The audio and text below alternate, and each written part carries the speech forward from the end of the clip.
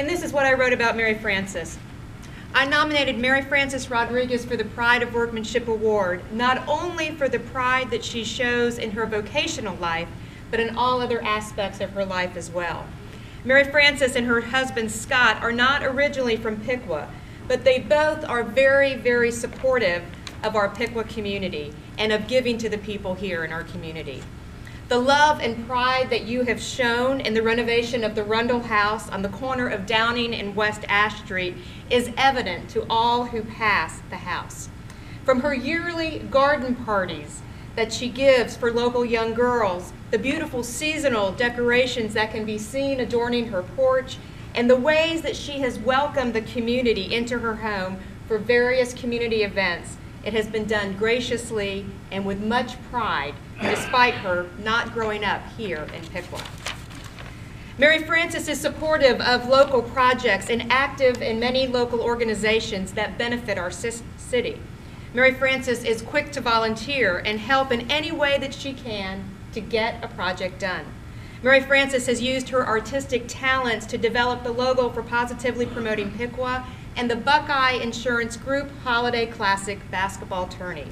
She also is involved in much of the behind the scenes of PPP and the Holiday Classic, making both of these successful in their own way.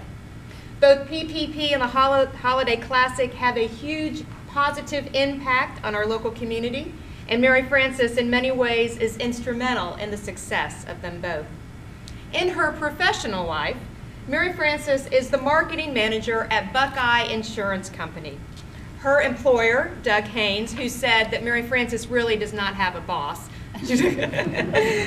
but Doug states that Mary Frances exhibits great skills and enthusiasm for the task that she is responsible for and tackles all the tasks before her with a can-do attitude. And I have to say, having worked with her on many different com committees, this is how Mary Frances attacks everything. Mary Frances truly loves Piqua and will do anything she can to improve the quality of life here in our wonderful community.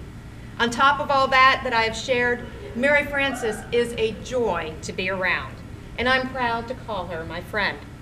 I can't think of anyone who is more deserving of the Piqua Rotary Club Pride of Workmanship Award than Mary Frances Rodriguez.